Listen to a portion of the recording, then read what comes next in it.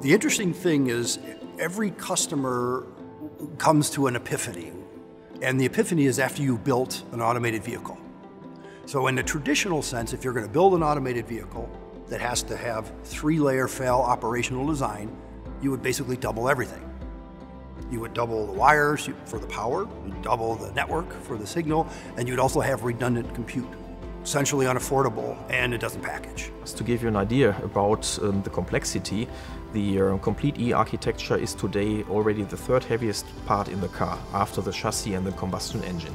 And we can't go this way any further due because we are running out of space and it's, it's too expensive and it's too heavy. It has to be what we call affordable redundancy.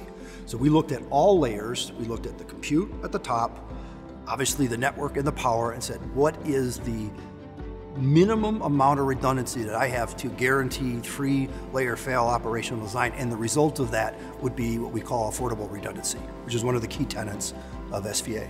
And that's really the challenge that we, what we have as engineers.